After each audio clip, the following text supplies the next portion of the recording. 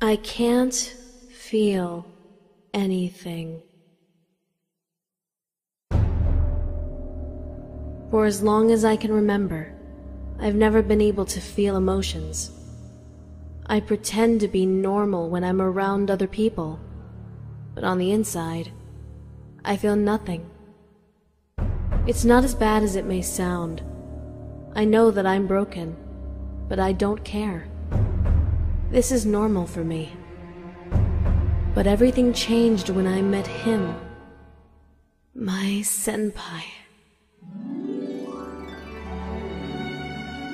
For the first time, I felt something. A strong desire, a longing, a yearning, a craving. Now I finally understand what it means to be human, to be alive. I'm addicted to the way he makes me feel. I don't care about anything else. He is everything to me. And now, someone is trying to take him from me.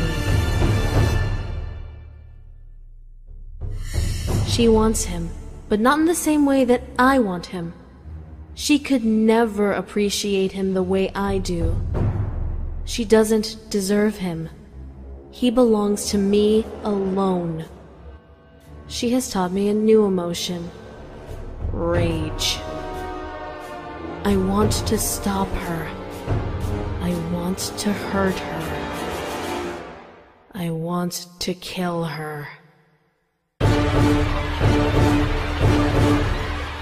There is nothing I won't do for Senpai. I won't let anyone come between us. I don't care what I have to do.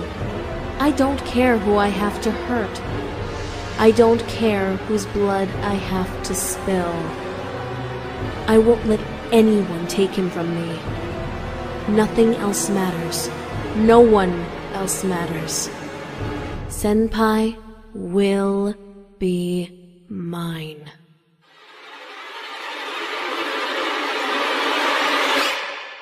He doesn't have a choice.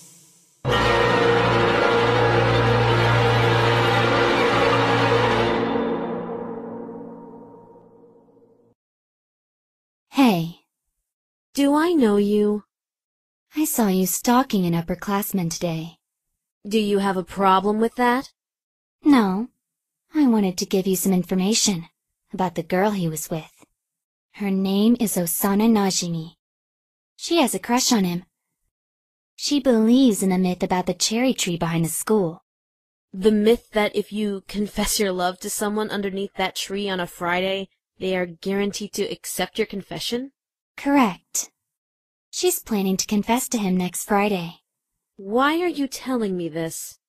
I would be happy if something bad happened to Osana-chan. I think you might be the right person to give her what she deserves. Who are you? I'm the person nicknamed Info-chan at school. I've heard rumors about you. You blackmail girls and sell panty shots to boys. Nobody knows your real name. The rumors are true. If you ever need a favor, text me a panty shot and I'll give you whatever support I can. If you want to know personal information about anyone at our school, just send me a photograph of their face and I'll tell you everything I know about them. You're disgusting. You're a stalker. If you want my help, text me.